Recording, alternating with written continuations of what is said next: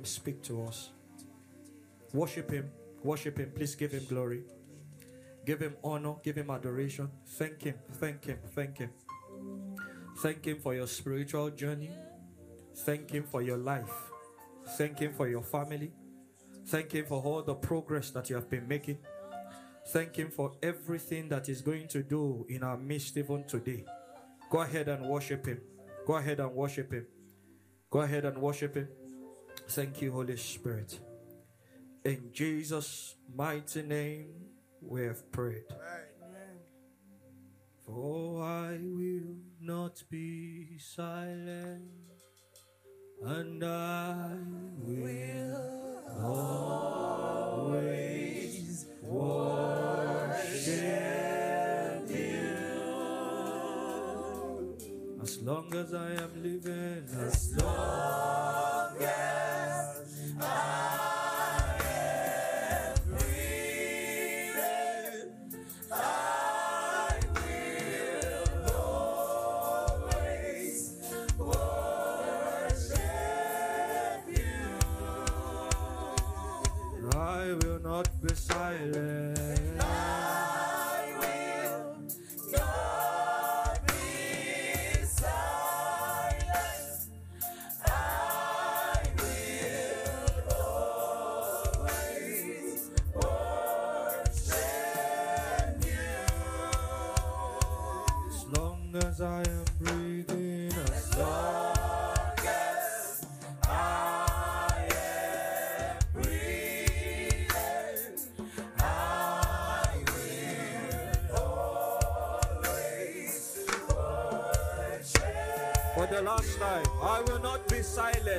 Lift up your voice and scream it.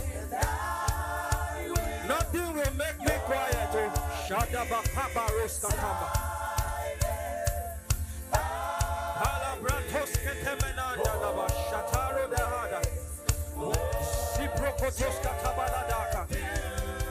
As long as I am breathing, as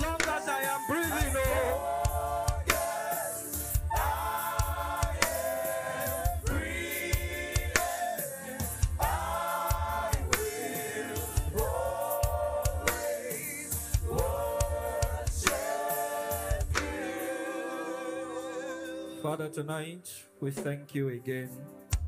Thank you for what you have said to say to us. Lord, don't spare words with us tonight. Speak to us, change our lives. Let us experience a shift in our walk with you. Let us experience a shift in understanding. Thank you for your presence that is here with us. In Jesus' mighty name, we have prayed. Please take your seat in God's presence. Hallelujah. Glory be to Jesus. Thank you so much for the privilege to be with us tonight. Thank all the leadership, everyone who is present here. I'm hearing a sound in my spirit. For this is holy moment when God walks in on us. Every case is on the lion and the lamb. Do we know the song? Okay, we don't know the song. This is holy moment when God walks in on us. Every gaze is on the lion and the lamb.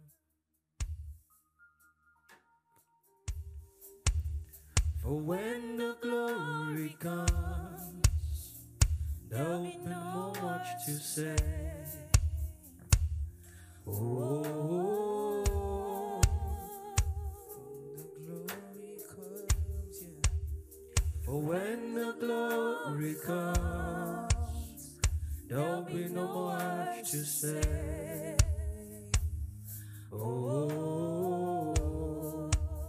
let's take that when the glory comes. For when the glory comes, there'll be no much to say.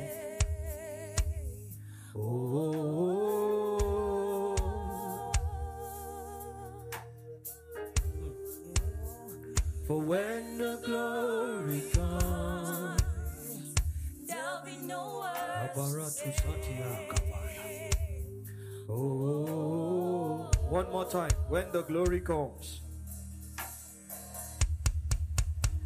For when the glory comes, there'll be no much to say.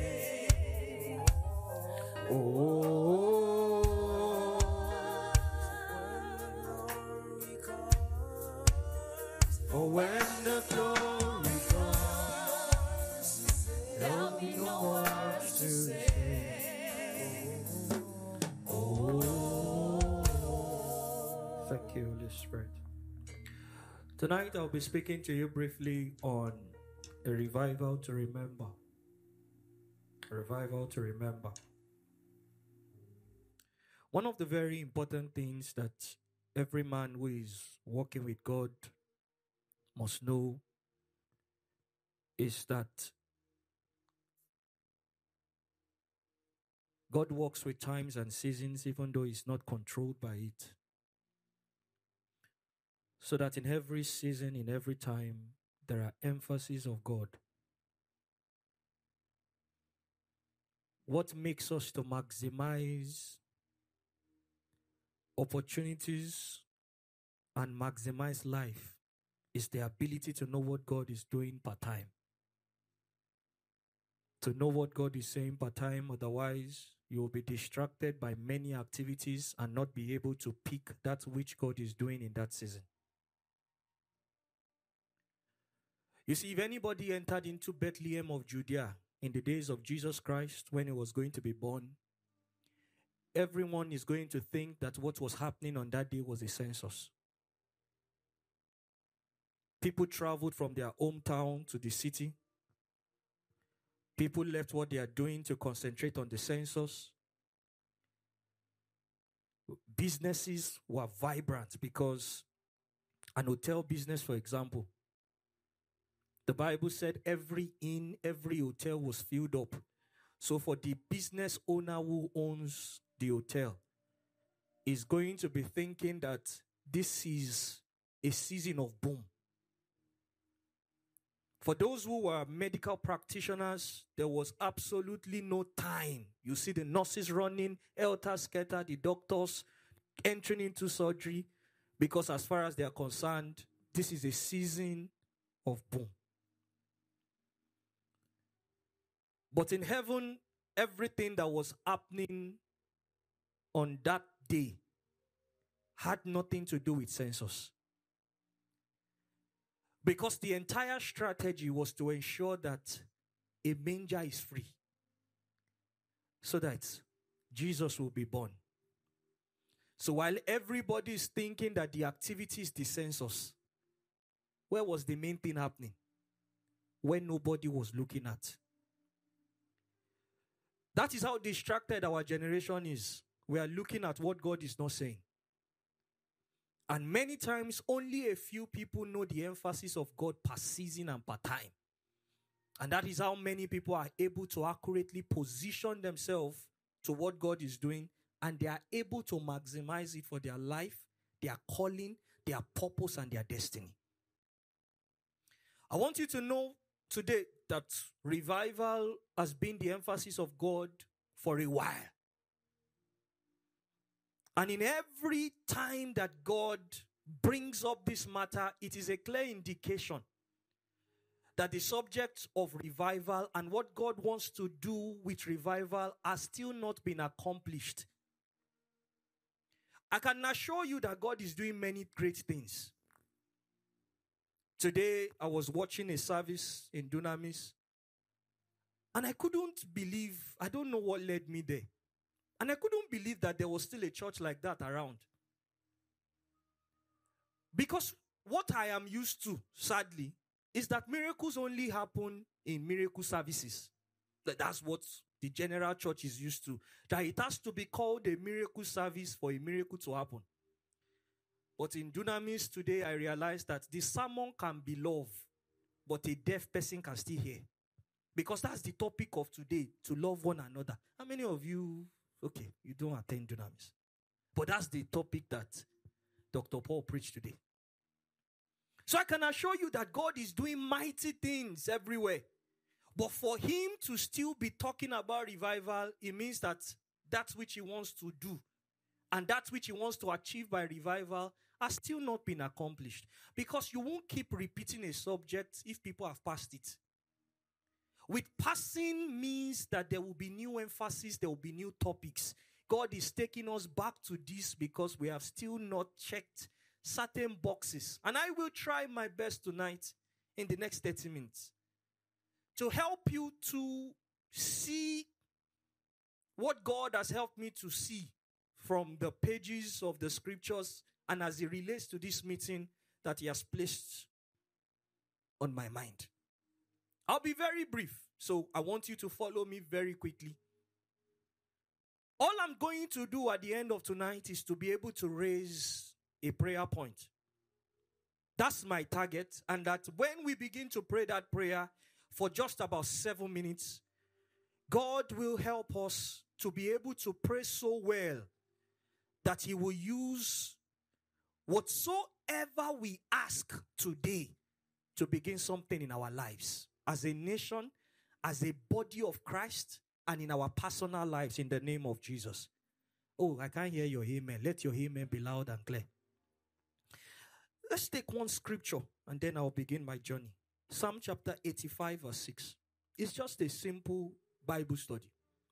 Psalm 85, verse 6.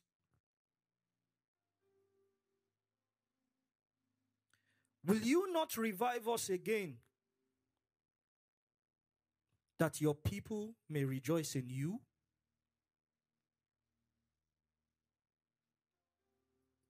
What man is actually living at the moment was not the ultimate plan of God. Because the reality of the matter is that when we begin to talk about revival, we're talking about trying to bring someone who has lost consciousness, position, placement back to place. So if a man has not lost consciousness, you won't be asking him to be revived. If a man has not lost his place, we won't be talking about revival. If a man has not lost position, we will not be talking about revival. The only reason why we are talking about revival today is because man lost his place. But you see, many times the average man finds it difficult to understand what man has lost. Because even though man has lost his place in God and man has lost all that God intended that that man should be, and I'm talking about Adam, the Adamic fall, I want you to look at the world today and see that despite the fall, see what man has achieved. Despite the fall of man, what we describe as less of the original plan of God, man can still fly an heavy object over the sea and it is not falling. And that is a falling man. Man can still divide a whole human being into pieces, fix certain things in his body, and sew him back, and that man will be living. And that is a fallen man. The fallen man can leave the realms of this earth and still stay in space and stay there for weeks, for months, and then come back. And it looks as if nothing unusual had happened. And guess what? That is a fallen man. If that is the fallen man, then what is the description of the kind of man God had in mind? What exactly could we have achieved if we didn't fall? I think it's hidden in that scripture that says, Eyes have not even seen, ears have not heard, neither has it come into the mind of men. In the day that man enters into fullness, like Jesus Christ, we will really do the impossible. Oh. Because the man that you are seeing doing wonders is not even at the peak of what God thought it would be. So revival came into the equation because man fell. Sin was the reason why we now need a revival. And every time sin enters into any system, a revival is needed. The church of God is growing because it's a prophetic word of God. He said, I will build my church and the gate of hell will not prevail. Meaning that God was saying that He would ensure that there is growth because anything you are building does not remain small. And there is something synonymous with growth. It is that as a thing begins to grow and it begins to expand, something happens to it immediately. It's open to more corruption. When you look at a little baby in the womb, there are very few things that can kill the child in the womb. It has to take whatever happens to the mother to touch the seed in the womb. But you see, the moment you give birth to that child, the element of destruction increases. It can die of cold now. It can die of infection now. It can die of every kind of death. Becomes exposed to the child. Why? because he's growing. That's the same thing that happens as God's body grows. If the church continues to grow, it cannot be free from the invasion of corruption that the enemy will try to put in. As the people of God continue to expand, the more you grow in number, the more you are open to corruption. That is why different kind of people are entering into our midst and we cannot control it because it is synonymous with growth except you don't want growth. As anything grows, you will begin to contend against corruption. What I'm doing is I'm trying to give you a foundation as to why we need revival. Because as things are getting better, you must not forget that the enemy continues to sow seeds in every area to ensure that as much as the thing is still alive, it's not as strong as it can be. So that everything that the devil cannot destroy, his strategy is to dilute. As soon as you see a thing that the devil cannot destroy, he ensures that the potency of that thing is diluted. And everything that he cannot stop, everything he cannot hinder, he weakens. What we see around is not the fullness. It is only by revival that we will bring God the joy that He needs. And that's what we see in the prayer of the psalmist. Will you not revive us again? Not just so that we will rejoice, so that there will be a kind of joy that God Himself will have. It is only for a revived people that God can rejoice. I will mention to you two things that I want you to bear at the back of your mind, and then I will take you through an history and then talk about somebody in scripture, and then I will close. Number one. One of the signs of revival is that it is the impartation that produces anointed teachers anointed hearers and anointed doers. The proof of revival is an impartation of anointed teachers, anointed hearers, and anointed doers. Once the revival begins, the first place is going to take place is from the altar of God, such that what is being taught will be what God wants to be said. Men will not only speak because they have been assigned to speak, they will be able to download right from the throne of God and be able to speak a word in season to him that is weary and cause a revival in their heart. The first place revival takes place is upon the priest life that speaks. So when God orchestrates a revival, the first person that feels the impact of that revival is the teachers. God begins to raise men who can speak his mind. That's the first place that the work of God will begin. Because the world that we live in lacks people who speak accurate truth, and that is why lies are abounding. There are many lies around. And the sign that revival has begun is that again truth will be coming from the altar of God. And the second work is that it will come upon the hearers so that they will be anointed to hear accurately. They won't hear out of order, they will hear to do. Many people hear to live. They hear, but they never do what they have heard. They only hear, and then when they leave that auditorium, they go into whatever they were doing before. But the purpose of revival is that you will be so convicted that when you hear the voice of God, it will convict you to become an anointed doer. It is not enough to hear the word of God. The question is, what do we do with what we have heard? What is that message that we want to preach to the 21st century church? What is that mystery that we want to bring about again that you think that we don't know? But you see, what we have as abundance in the body of Christ today are those who hear and who don't do. As a matter of fact, I have met men who teach and don't do. Said it many times that you see, if every minister of God who waits on God or who stumbles upon a good message should listen to what he teaches, he will realize that the sermon was not for the people. But God knows that the only opportunity He has to speak to you was going to be when you are told you are going to preach. So take time to listen to your message because God was speaking to you. You will find men who preach powerful sermon who have not listened to what they said, who don't follow what God is saying to them because they thought the message was for the people and they did not know that the message was for them. Revival begins when the teachers become anointed to speak God's word, when the listeners become anointed to hear what God is saying in season and will not misinterpret it, and when they become anointed to live by the word. The truth of the matter is that we are a generation that looks too much like the world that we were sent to save.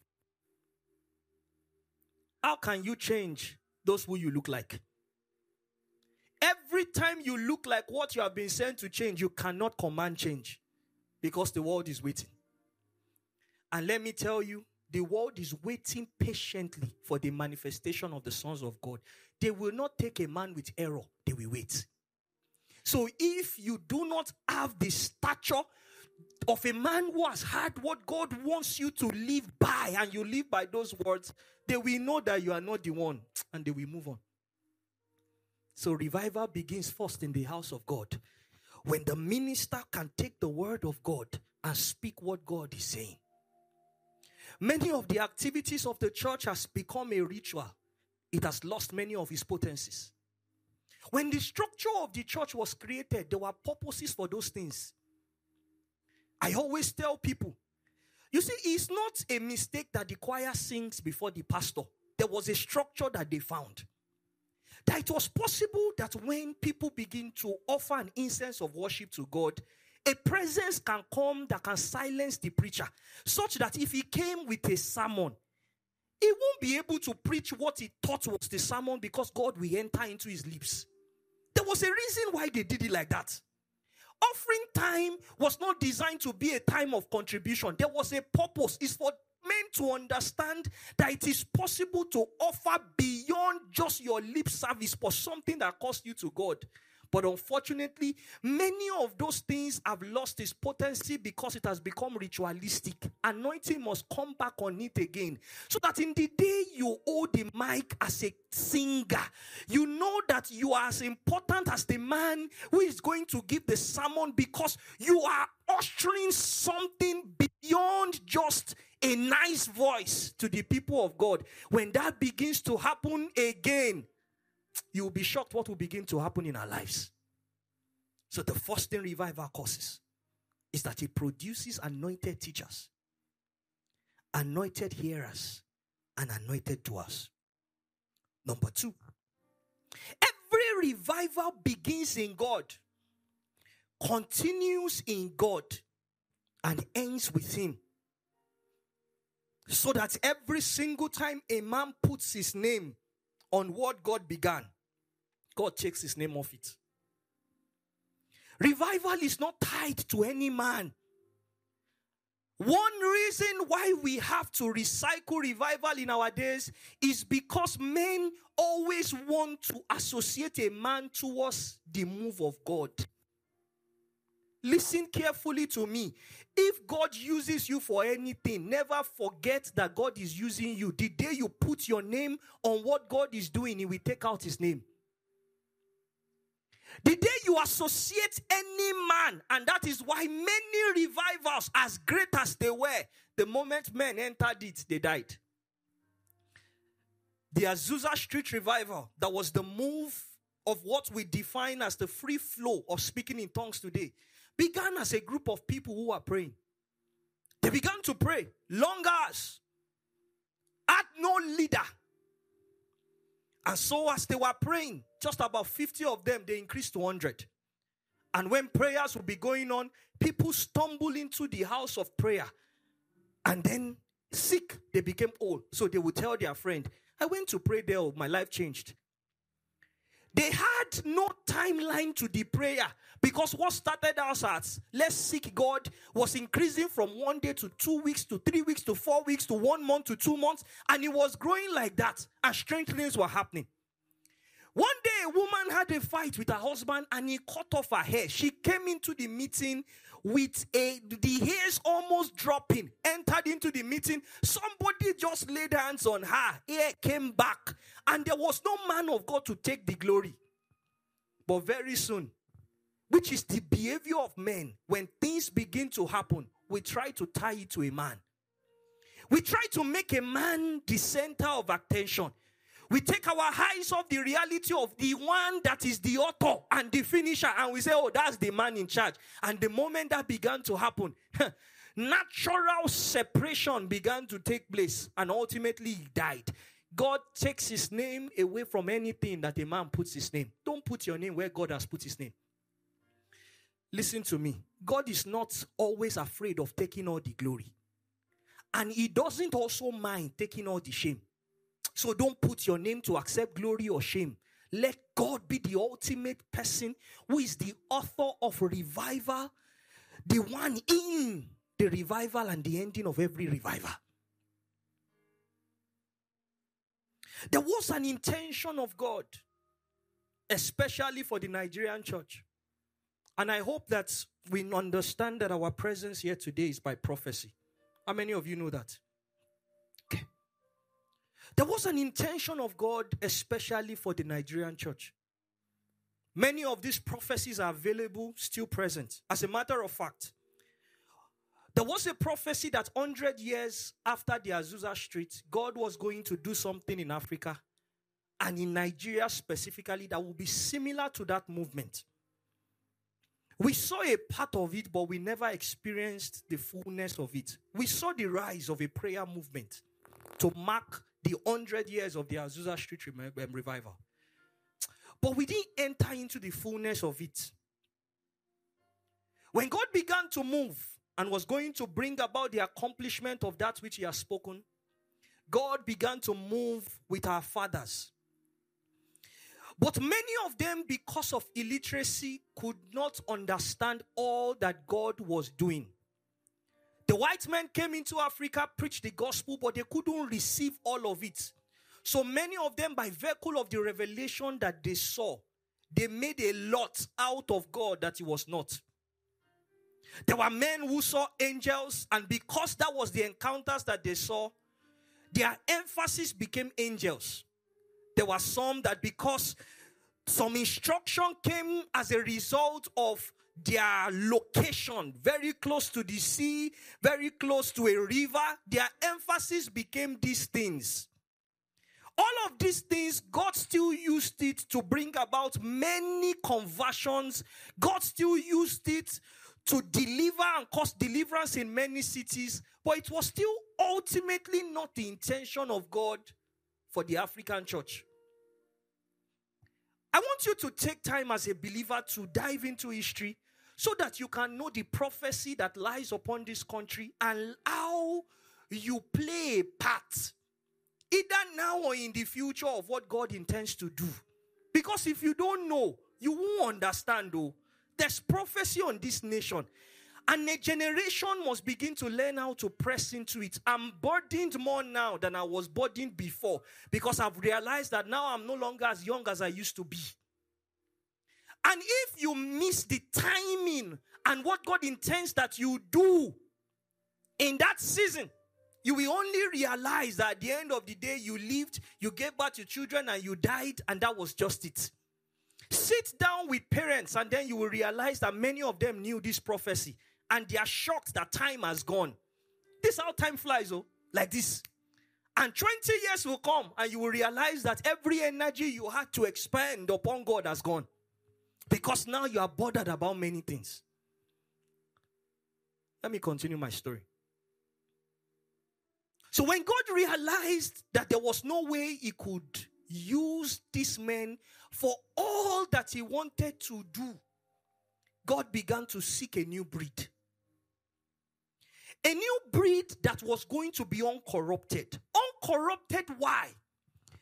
The foundation of our great grandfathers now, or grandfathers, and I'm talking about the likes of Orimolade, the Babalolas, the popular ones that we know, had a foundation of idolatry. That is why the typical activity of some of these people, even when they want to administer the help of the Holy Spirit, it will almost look as if, ah, is this jazz or the real thing? And so when God realized that some of these things were going to ultimately corrupt his move, God began to seek a new breed. A new breed that was uncorrupted, that has not been defiled in any way. And God realized that the only way he can find a new breed is if he gets them young. It is only someone that is just rising that has not seen many of the affairs of life and God knew the best way to catch them. Where He designed that He was going to catch them, especially in Nigeria, was going to be the university campuses. So, what God did was when He saw the corruption ahead, that if these people continue, there will be many questions that these men cannot answer. Let me start to begin to groom a new generation. So, God, by the mystery of transition, began to invade our university campuses. And every move of God that we can tie and know now and tie to the present move of God in Nigeria is traceable to the university campus. Every father of faith that you know, look back at their history, they found God in the university. That was where their burning passion became or started to grow.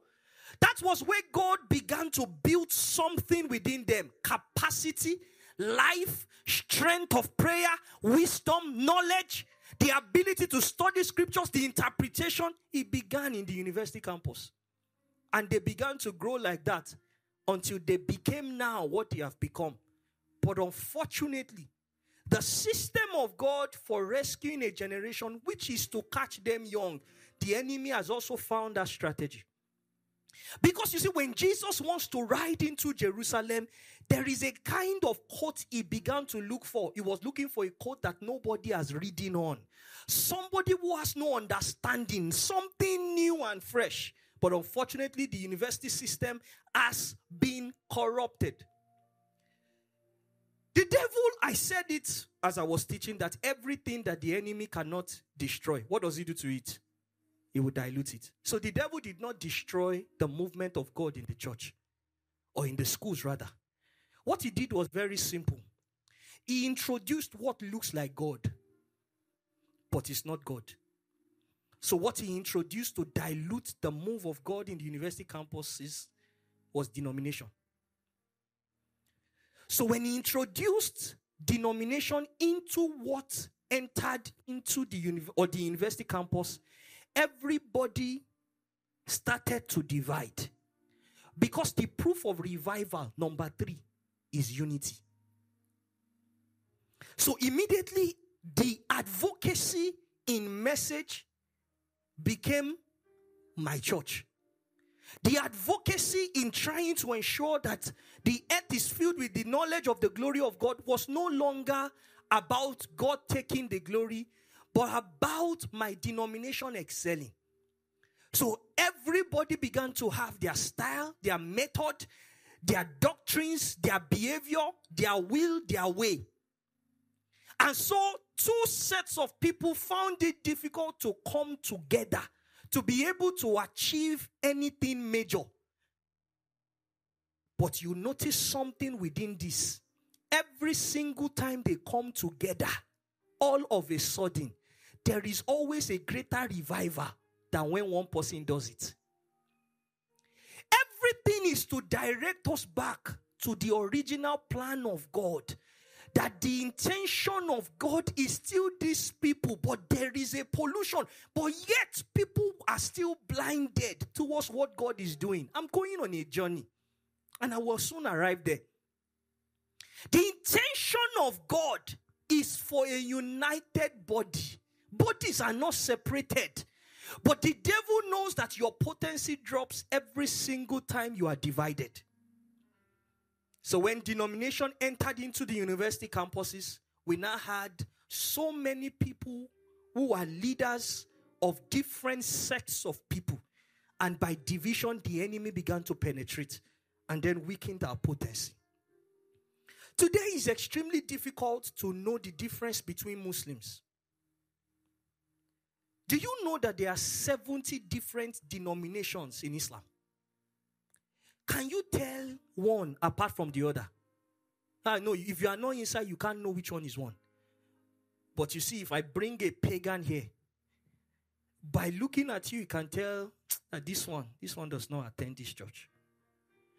Because our difference is too clear.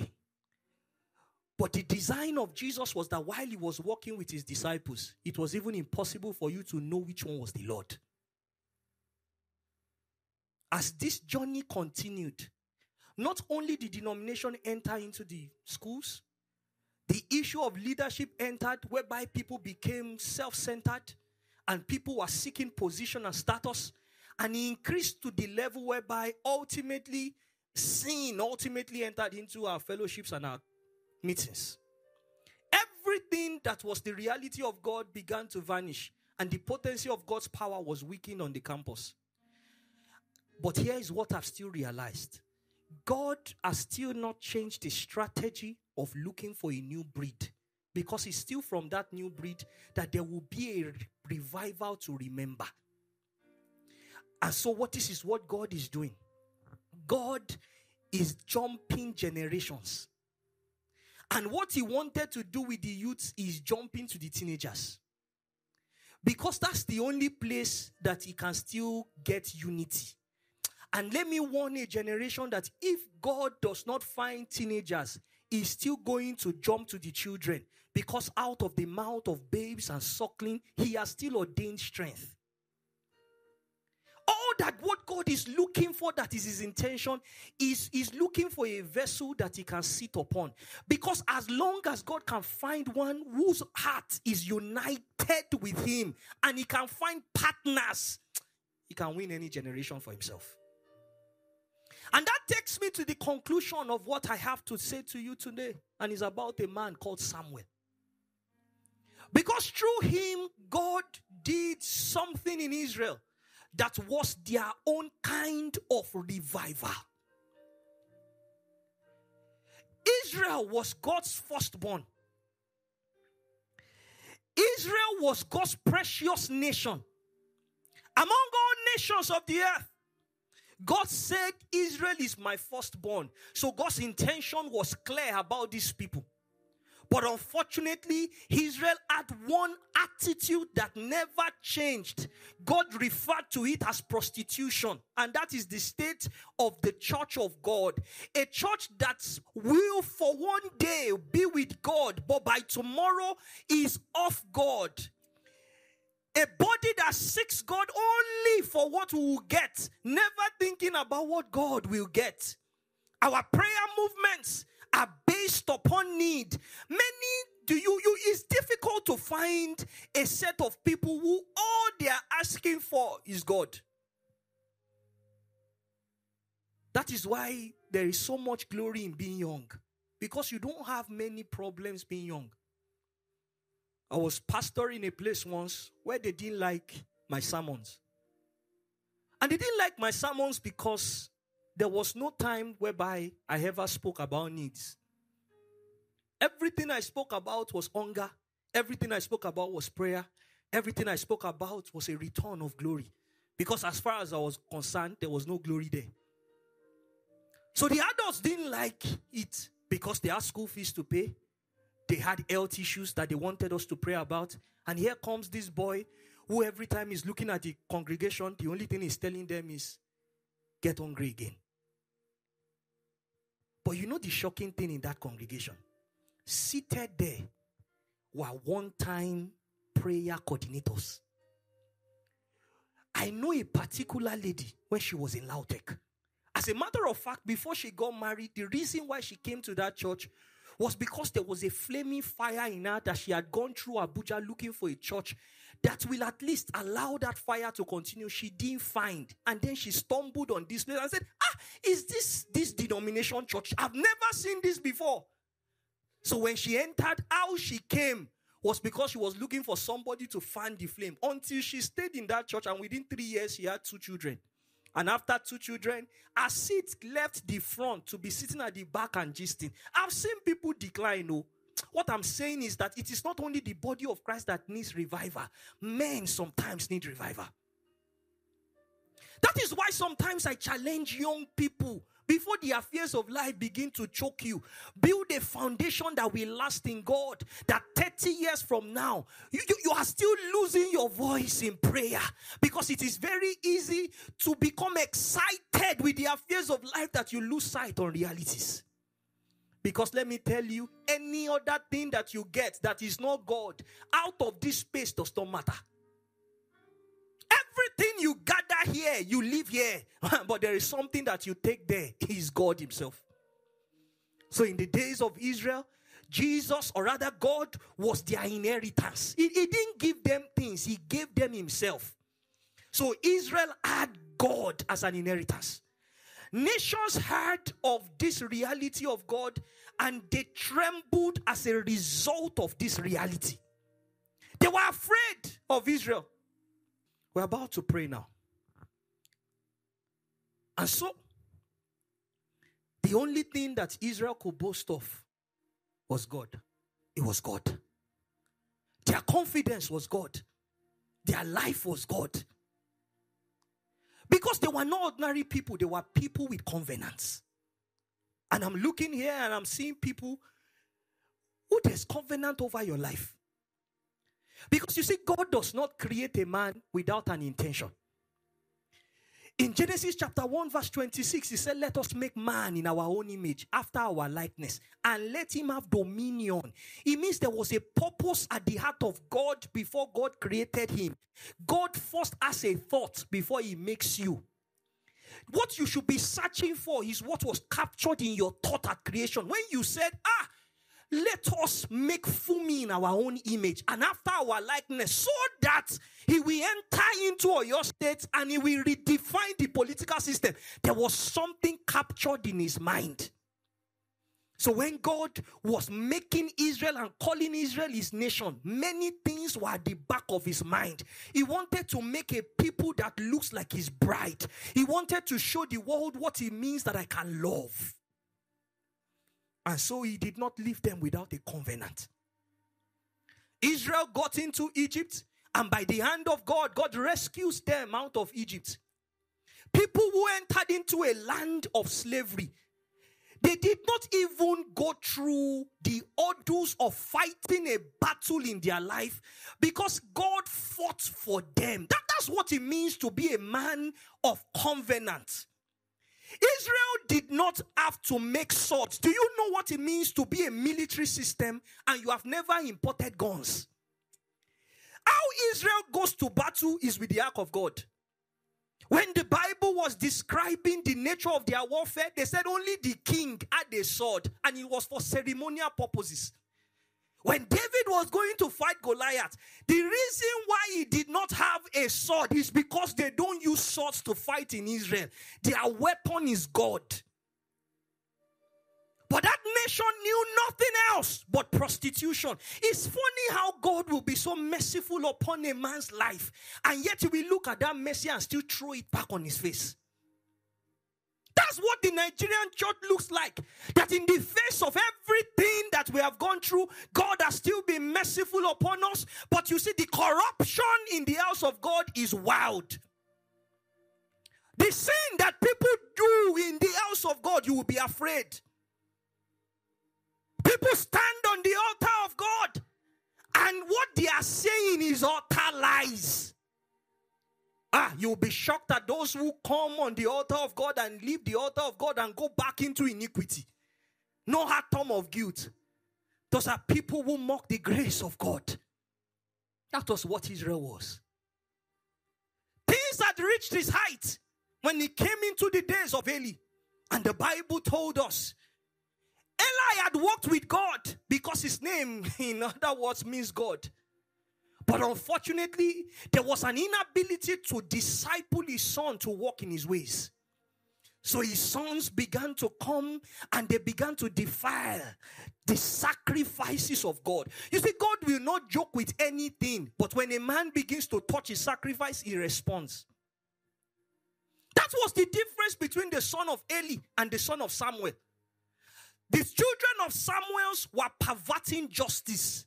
So they were taking bribes. But the children of Eli, they will look at the sacrifice and look at the one that suits them and take it.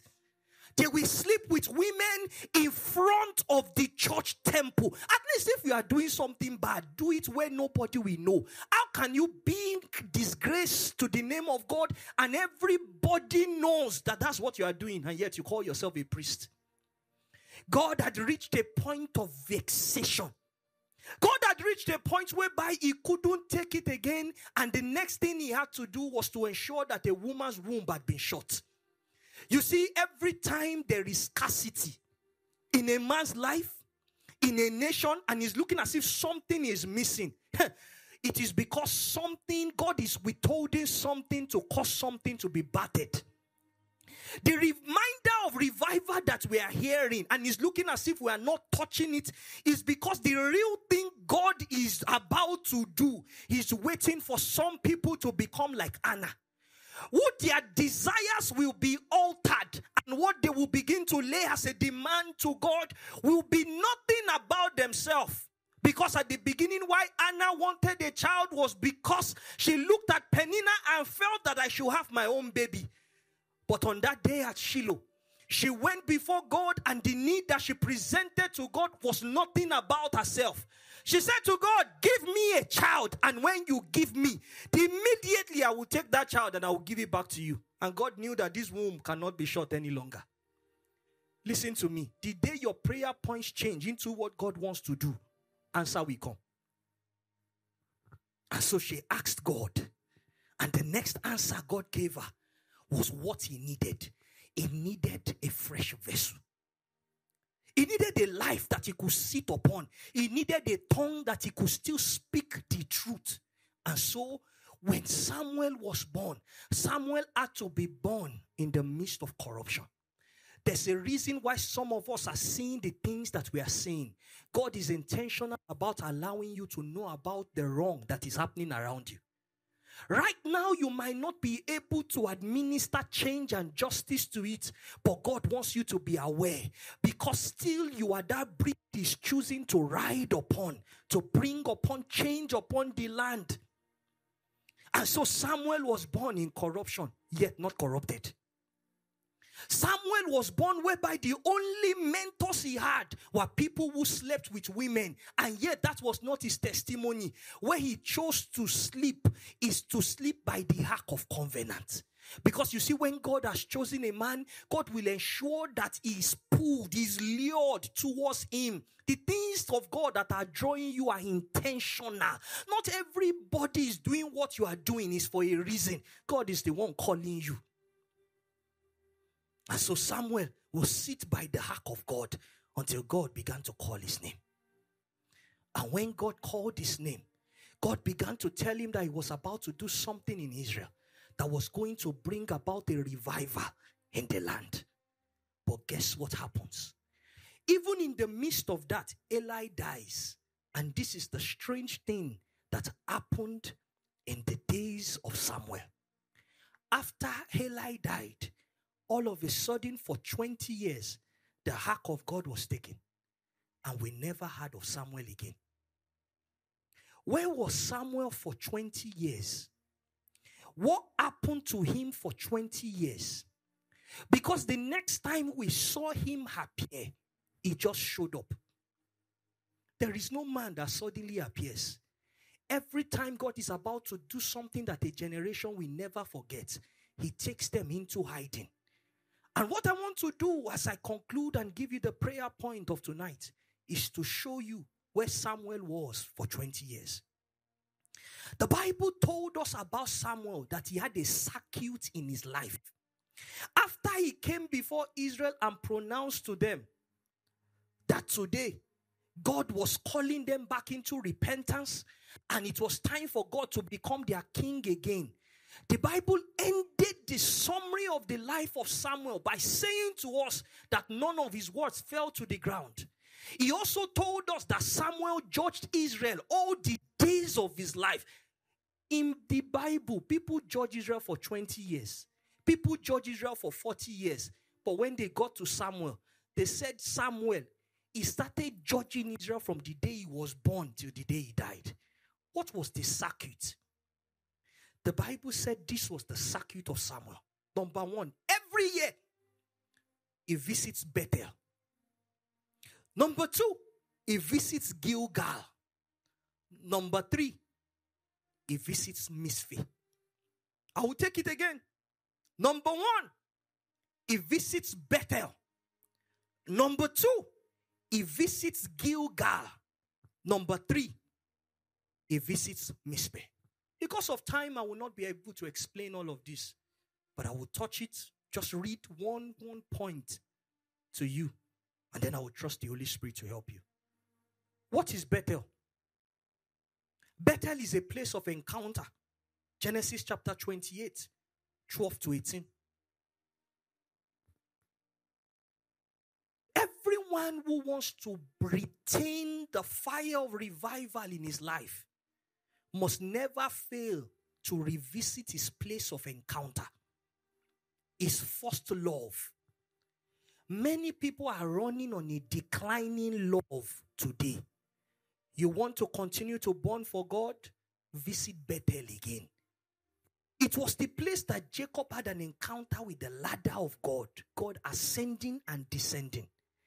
Men who sustain revival are always fresh on the altar of love. Number two, what happened at Gilgal? Gilgal was the place where everyone who did not know what God did for the children of Israel was circumcised. Because when people were leaving Israel, some of them were circumcised, but because of the 40 years journey, there were children that were born, and many of them were not circumcised. So at Gilgal, God said to Joshua, Get a flint stone and begin to circumcise everyone who might not have known the covenant. Listen carefully to me. One of the critical things that God wants to do in our days is to begin to use men like stones. Because there will be people who are not aware of the intention of God for such a time as this. And it is God's intention that He will use you as a stone to cut deep. Not to cut to injure, but to cut to repair. So that in the day that God gives you your own child, you will ensure that there is a circumcision and a kind of child that you will bring forth. So that in the day that God takes you to a church, there is a kind of message you you will bring. God is introducing stones again that can cut. It's not every time that there is celebration, there must be seasons of cutting. And it is only by circumcision that the covenant is renewed. So Samuel always visited the place of circumcision, the place of making. Number three is called Mizpeh. Genesis chapter 31, verse 49. You can look at Judges chapter 10, verse 17. Judges chapter 11, verse 11. Mizpeh was a place of vows. It's like a watchtower. There was a man named Jephthah who made a vow unto God in this place. Mizpeh represents a place of commitment. Many of us need to return back to the days where we made several commitments and vows to God. And again, check how faithful have you been on the covenant that you have made with God. Every time a generation understands how to return to the first place of encounter, our first love, when our heart was burning with God, every time a generation knows how to return to the place of circumcision and not to be filled with excitement, but go back to the place where God again can break to mend and goes back to the place of checking back those words that you said when you were younger the commitments that you made, I will follow you before many things began to rise. Every time a generation understands that circuit, it continues to burn. But the moment we forget and we allow the affairs of life to choke us, is a matter of years. In 20 years' time, God will still have to repeat the same sermon again. Because many times, what has happened in the body of Christ is that we have not passed buttons we have restarted races. But I'm trusting God that in the few words that I have said, that God tonight will find someone that He will use as an example of what it means for a vessel to be revived. And today will become a memorial for you for the rest of your life, like a burning fire upon your head. That even from today, every single place that God will place you, every single place that God will send you, He will use you as light. Let your amen be louder than this. Jump on your feet. We're about to pray. And the prayer you want to pray is this Father, your fire within me will not go out. That's the prayer I want you to pray. In 2012, myself and five boys gathered in UI. My friend had gone for a meeting and then he showed up and said, Let's pray for 24 hours. Ah, I went for a meeting where they prayed 12 hours for seven days. Let's pray for 24 hours. So we gathered together and we decided to pray. We were five guys and three ladies. The ladies came and then left, and they brought us food at the end of the 24 hours. We're going to fast and pray in a room. And we began 6 a.m. that morning and was going to last till 6 a.m. It was that prayer movement that became the fire of God that began to light in many campuses in Nigeria. It started with five people in a room.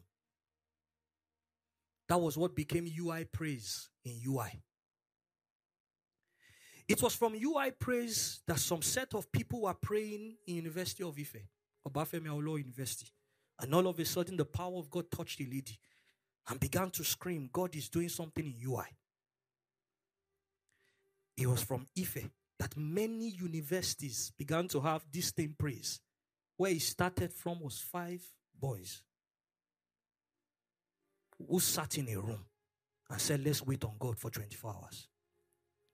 The UI praise had no leader, they had no time for prayers. They just come to the field of chapel Tamak. and as they begin to pray, people walk in and join them. And people were praying 9 p.m. till the next morning daily. But you see, it's not the beauty of the prayer that I'm looking for. This is what I want to tell you about many of those movements. They are nowhere to be found. That's what I'm trying to tell you. But you see, that's not even the one that's paining me. What is paining me is that there were five of us. One of them is Evangelist Lawrence. The second was his twin brother. I was the third. The remaining two, one of them was in University of Ife at that time. The last time I heard of him was he was caught when he stole a phone. And he was beaten till he began to bleed. The fifth. He got married two years ago. Marriage scattered. Walk with God emptied. But there were five. What did God want to do with that light he started? That's not how people end. Oh, we're still young. Sometimes we don't determine how a man has run in the middle of the race. Let's give us 30 more years. It's too early to decide that you will be able to share great testimonies about your work with God, though. Let's wait till you have two children. Let's wait for 10 years. And if you are still on fire, we will know if you caught something with God. Let's wait until there's a choice for marriage. That's why I'm taking you through the circuit of Samuel. What made him last was he never forgot how God started with him, never forgot how God circumcised him, never forgot the things he said to God. There are many who started and the revival died. I want you to pray for five minutes. My time is up. Jesus, this fire will not die. I'm starting with you today. I must end with you. Ah, you, you are not praying. Make it louder. When you are praying, you will know. It's five minutes and I will be out of here. Please increase it. Five minutes. Please pray with burden. Pray with burden. This hunger will not die. This fire will not die. This fire will not die. Jesus, keep me hungry. Jesus, keep me burdened. When your glory comes, there'll be no words to say. Oh, we are praying for just five minutes, so and I will drop the mic. Please pray for your life. For when the glory comes, there'll be no words to say. Oh.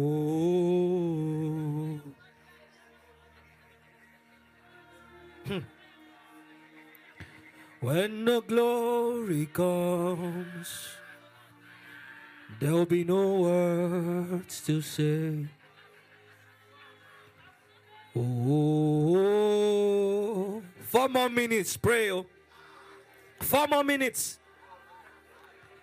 For when the glory comes, there'll be no words to say.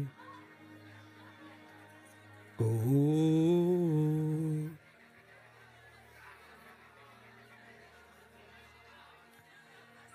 When the glory comes, there'll be no words to say. Oh,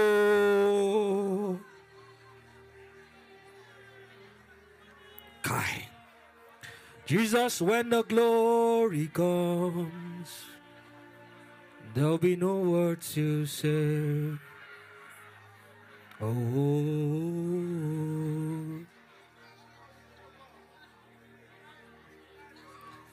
Keep me hungry, oh. Three more minutes, pray.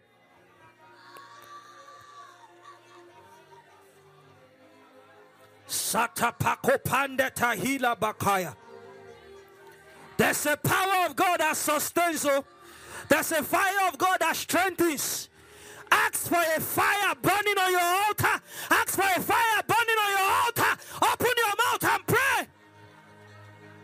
Ask for a fire that never runs out, that never goes out, that will be able to face the destructions of the enemy and remain. What we God wants you to give your generation is not an inheritance of material. It is God for a good man. Give it, leave it an inheritance for his children. There's still a journey ahead. Sow a seed into 10 years' time. Sow a seed into 15 years' time. Sow a seed into 20 years' time. I will not be a waste. I will not be a waste of spiritual investment. I will not be a waste, oh God. How can you choose me and I waste?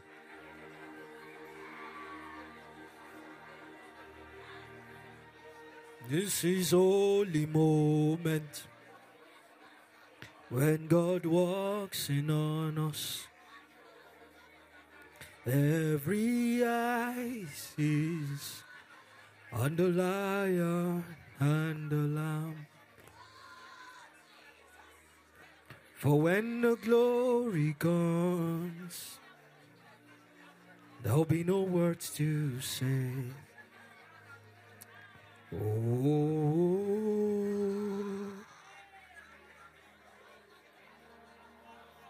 For when the glory comes, there'll be no words to say. Oh, amen. Amen. Thank you, Jesus. This is not a prayer that ends here because you know there's time. Please pray. There are many that God could have used to. Oh, you have not met prophets. You have not met intercessors. So there are many. There are many that are fallen. That's why I like the theme, the revival to remember. Because many have been forgotten. It doesn't take too long to forget that a man came. It doesn't take too long to forget that a man ever showed up. It will look as if God's calling was never on his life.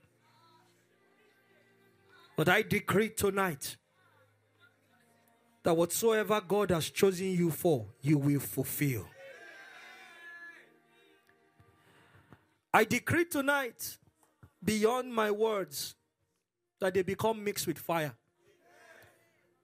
They remain burning in your heart. That the God that keeps men perpetually on fire for Him, that even from this place, it will set you ablaze and keep you burning. I prophesy right now in the name of Jesus as a token that I came to this house. Let the angels of this anointing, let the angels that validate God's call upon my life, standing upon the promise and covenant, the angels of light and alignment. For everyone desirable of light, as I count from one to five, right now, Holy Spirit, those who are confused, those who family are going through crisis, and there is need for clarity. As I count from one to five right now, let light be introduced to your life now. One, two, three, four, five. In the name of Jesus, let the light of God shine right now. I decree for everyone that requires alignment, the angels of this calling, they align you with God's plan and purposes over your life now in the name of Jesus. I decree for every David that has been waiting for this Samuel, everyone called to be kings in areas of their life that has been waiting for a Samuel to arrive and anoint you. I take my posture as a Samuel called for this purpose. Wherever you are now, I stretch my hand to you. Let that oil that provokes kingship, authority, calling, purpose, let it rest now. Let it rest now. Let it rest now. Let it rest now. Let it rest now. It gets stronger. It gets stronger. It gets stronger.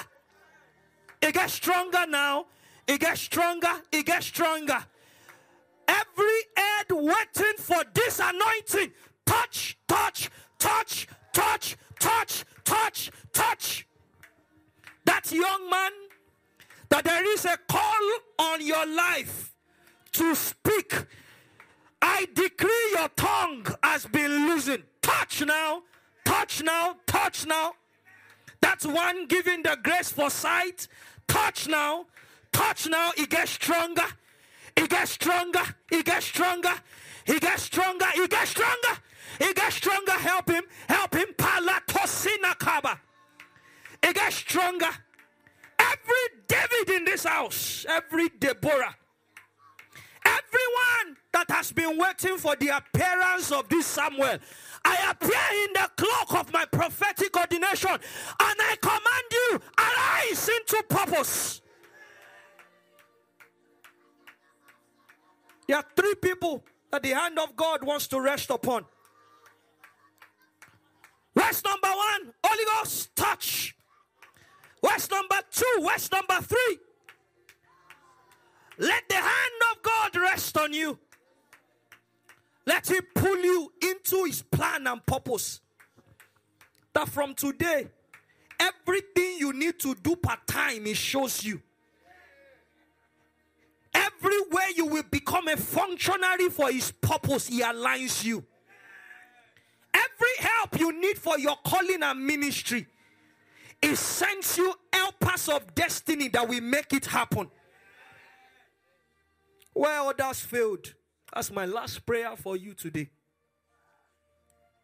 Where fathers failed, where mothers failed, where sisters failed, where uncles failed, where papas failed, where those before you failed, you will not fail.